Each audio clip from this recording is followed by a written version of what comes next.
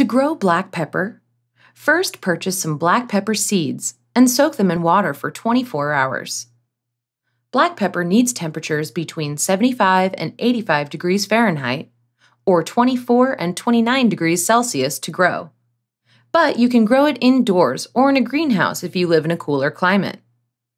Plant the seeds in 1 quarter inch or 0.6 centimeter deep holes, 1 inch or 2.5 centimeters apart from each other, in a shady spot outdoors or in a pot if you're growing them inside. Then install a trellis in the soil so the black pepper has something to vine on. Water your plant two to three times per week so the soil doesn't dry out. And feed it a 10 10 10 fertilizer diluted in water every one to two weeks, except during the winter. After two to three years, your black pepper plant will start producing peppercorn berries that you can harvest and turn into ground black pepper.